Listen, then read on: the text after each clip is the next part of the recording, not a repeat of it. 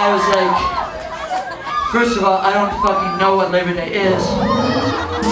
Secondly, you obviously have no idea what Kill Hannah fans are like in Los Angeles.